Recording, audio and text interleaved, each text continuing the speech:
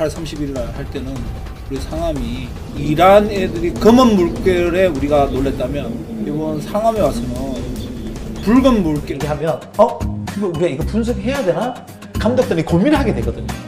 그 인터뷰 끝나고 호텔에 돌아와서 기자분들하고 Halo guys, welcome back to YouTube channel Gila Bola.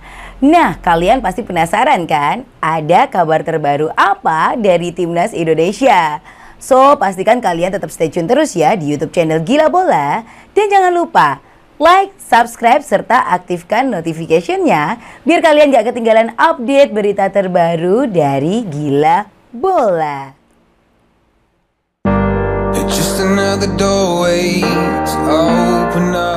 Dikutip dari cnnindonesia.com, pelatih timnas Indonesia Sintayong bertanya kepada fans sepak bola terkait laga aneh Vietnam versus Thailand di babak penyisian grup A Piala AFF U19 2022.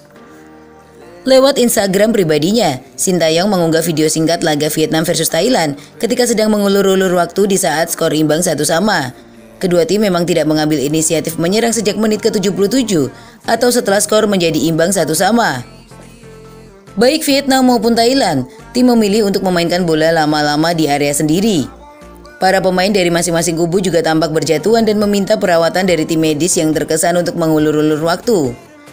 Apakah ini benar fair play yang sebenar-benarnya? Saya ingin tanya kepada para fans bola. Sangat mengecewakan sebagai pelatih kepala yang pekerjaannya sama. Tulis Sintayong. Apa yang para pemain muda bisa rasakan dan apa yang para pemain muda bisa belajar dari pertandingan tersebut. Tambah Sintayong yang kecewa dengan laga Vietnam versus Thailand. Indonesia sebenarnya tampil impresif di laga terakhir grup A dengan mengalahkan Myanmar 5-1.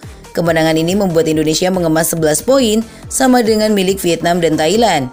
Hanya saja Indonesia dipastikan tersingkir karena kalah head to head di antara ketiga tim teratas di grup A. Dalam klasemen mini, Indonesia finish ketiga di bawah Vietnam dan Thailand karena kalah agresivitas gol.